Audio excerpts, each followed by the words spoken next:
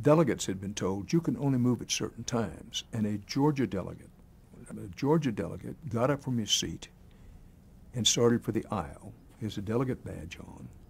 As I understand it, he was told by somebody at the end of the aisle, "You can't get up now." And, to my opinion, quite rightly, he said, "I'm a delegate. Here's my delegate badge. Here are my credentials. I'm a delegate, and I want to walk around a bit." They said no.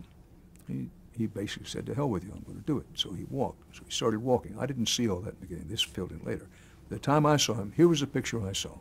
I'm standing in, in, in an aisle, one of the main aisles, and I see coming a man with a Georgia delegate badge. He clearly was a delegate, had a badge on and everything. And there were some people in civilian clothes, not police clothes, who had him by the arms, had his feet virtually off the floor, and they were quickly trying to escort him off the floor. This is a story. Delegate seems to be he's either being subjected to some kind of thuggery or he's being hustled off the floor for some reason. And all kinds of things. You know, what is this man an impostor? Has he assaulted somebody? What's going on here? And so, in full rig, we had earphones and radio transmission and a microphone. I basically asked the reporter's question, try to, of, uh, sir, who are you? What's going on? What's happening here? The goal of the people who had him was to get him off the floor and out of there as quickly as possible. There was a, a gate, an exit uh, turnstile with an anti-fame person.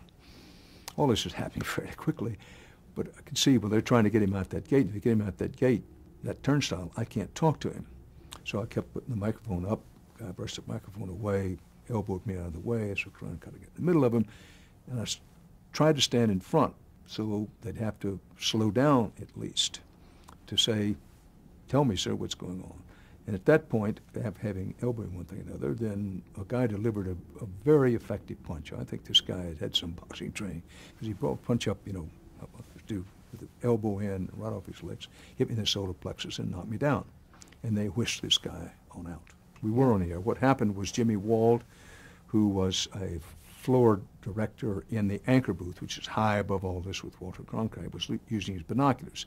And he saw me get knocked down and said to Walter, there's something happened down there with Dan.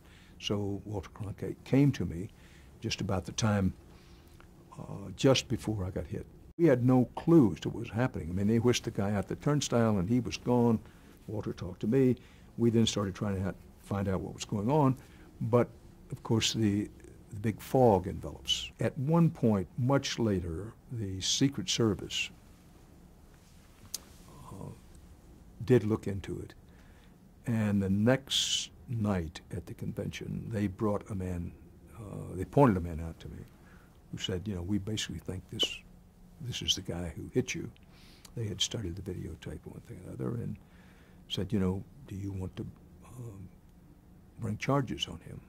And I thought about it for a half a second. Said, let me check with my bosses. And I said, look, it was last night. It's beyond us. There's enough chaos. I mean, the whole city, not the whole city, but large sections of the city were exploding with difficulty. The convention itself was careening near out of control.